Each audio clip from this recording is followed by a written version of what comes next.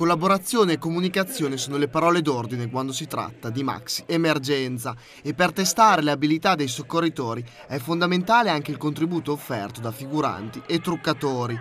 Nulla è lasciato al caso. Siamo formati ed addestrati appunto per ricreare nel modo più veritiero possibile quelli che sono traumi eh, da ricreare sui simulatori in modo da abituare anche all'impatto visivo il, il soccorritore, quindi fondamentalmente è sia l'impatto visivo sia l'abilità anche in quello che è il soccorso pratico. Per cercare di stimolare anche il soccorritore cioè, e, e aiutandolo perché comunque se hai un punto con un ematoma, con una lacerazione o qualsiasi cosa viene, interviene sul punto dove si vede la ferita. Insomma. È sempre importante, lo sottolineiamo spesso, la collaborazione tra quelli che sono i professionisti del soccorso ma anche i volontari.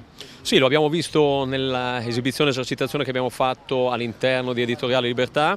Oggi sarà un evento credo abbastanza particolare anche perché i nostri operatori sono veramente all'oscuro della casistica, ci sono diversi figuranti, c'è stato un forte impegno anche del gruppo truccatori e ritengo che sia di un'utilità specifica per far fronte alle macro emergenze. Un evento di primo livello e eh, sicuramente servirà e per gli operatori presenti oggi ma anche poi eh, per fare esperienza e portarla agli altri. Noi interveniamo con la funzione protezione civile, quindi attiviamo il COC, funzione volontariato e anche eh, funzione mass media rivolta alla popolazione per avvisare la popolazione su quali, quelle che sono le misure di autoprotezione, non avvicinarsi, stare a casa, chiudere le finestre eccetera. Quindi noi attiviamo di fatto in un'emergenza di questo tipo il centro operativo comunale in forma ridotta. Lo scopo di questo tipo di esercitazione è di testare in una simulazione realistica l'effettiva capacità e sinergia di tutti gli attori che sono in campo, ognuno nel, nell'ambito delle proprie competenze.